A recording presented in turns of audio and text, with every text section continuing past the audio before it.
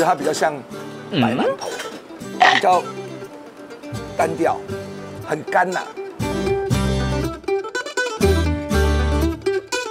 我也是吃得饱的，因为我喜欢吃这些。食物你是要假发还是假卡？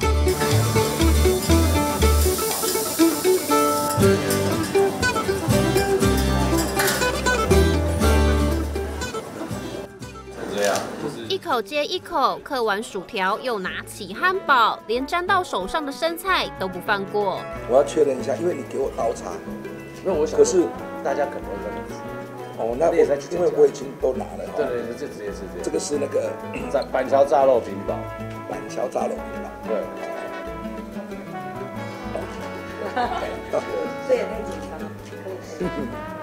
哦，这个还有汁哎。民进党新北市长候选人林佳龙与早餐店老板边吃边谈笑的同时，也趁机推销自己帮助青年创业家的新政件。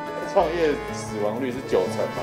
嗯，等于是在鼓励大家进入一个死亡率九成的事情事业里面。我我是有个想法哈，嗯，就是呃街角经济啊，啊，我们政府可以把哈，比如说板桥分几区。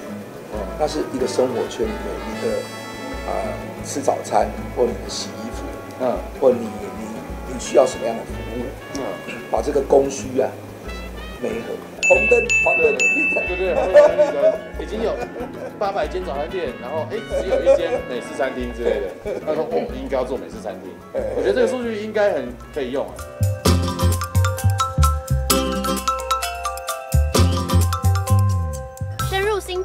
从小吃开始，板桥这家四十多年霸丸老店，酱料用米磨制而成，风味特殊，内馅丰富不油腻，是许多民众的首选。不常霸丸，喝，你们慢慢用哦。喝。部长，你吃香菜吗？啊，我吃。你吃吗？啊，我我的可以给你。可以啊。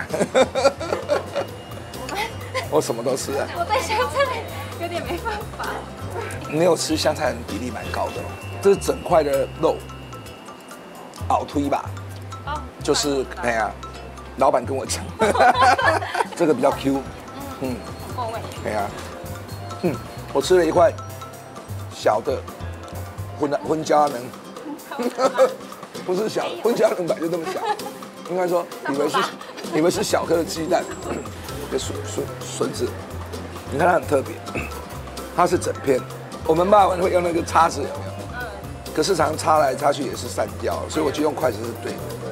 爱美食又不挑剔，但心中总有个美食三剑客，不管去哪里都一定要吃到才会满足。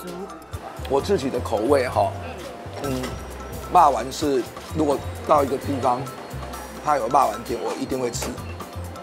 第二个呃，喜欢吃的是那个底底会贵，就是那个。猪血糕，他再找一个第三个，那个润饼，还有叫润饼糕，就是。等下部长，你只喜欢吃香菜而已吧？你刚刚讲这三个都我家香菜呢。我香菜魔人。没有，我喜欢吃这个，那香菜不拘。嗯，去旅行大概吃一定是一个必要条件嘛。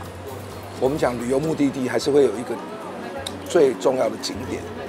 或活动，你应该在上面加上什么东西，让它吃之外还可以干嘛？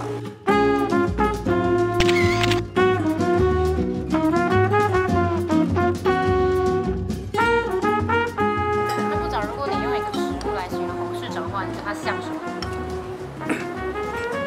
我觉得它比较像白馒头，比较单调，很干呐。你说白馒头很重要啊。他可以吃饱啊，可是人生不是只有吃饱，而且我们可能吃了第一块，第一我们吃了第一颗馒头啊，我们会活下来，因为没吃可能会死。我们吃了第二颗馒头会很幸福，因为你饱足啊。可是，在吃了第三颗馒头，你可能会中毒啊，因为在太肥胖，可能最后会生病啊。啊，所以我是跟他刚好两个对比，他是在既有体制下。执行的人，我是想要改革制度的，好跟体系的人，我也是吃得饱的，因为我喜欢吃这些。我我举个例子来讲，同样要饱饱足啊，我可能会比较喜欢呃润饼，不是那么多店在卖润饼，所以你一看到的时候，你会就想说，哎，那我赶快把握机会去买一个。把握部长的意思吗？论饼要咬下去才知道滋味，然后外面看起来只是哦一个卷吧，而是里面料很多。看完今天的美食介绍，也心动了吗？帮我们按赞、订阅、加分享，选酱八豆腰，等你一起来。